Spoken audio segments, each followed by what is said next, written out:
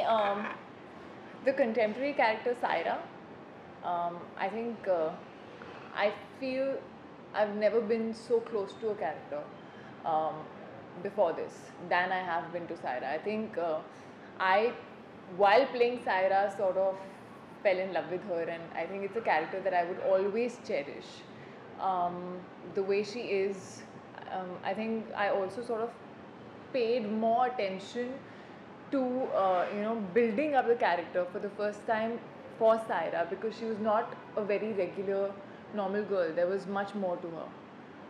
That then uh, the whole uh, uh, I think the whole casting crew and the way we sort of bonded, the whole journey of Raabta has been very special. We've shot for two months in Budapest. My memories in Budapest are beautiful. They're like they're memories that I would always cherish.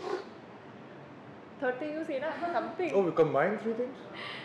oh, were you counting your three things till now? No. Uh, in the first one, the, the present character that I play, he's not very uh, future obsessed. No, he's not obsessed with future. Pretty much the same as Dhoni, which I play. So he's just not concerned about anything that has to do with future or past. He's right now living in the moment, and so that one thing uh, I would like to um, keep it with myself. The second thing would be the, the flashback character that I have done. He's he's he's a very good fighter, and uh, uh, we went to Bangkok, train ourselves in, in, in that, and uh, on his moves, it's very graceful but very very uh, uh, scary. So I would like to keep that kind of Scary? yeah. and the third thing would be if if this film uh, resonates with audience and they like it.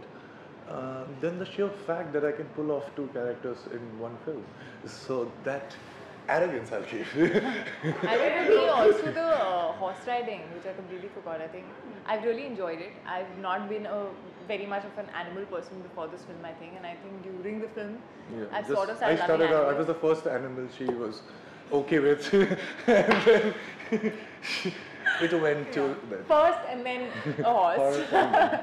Horse and- uh, but I really enjoyed uh, horse riding. I think it's almost therapeutic, and I would love to sort of pursue it if I can.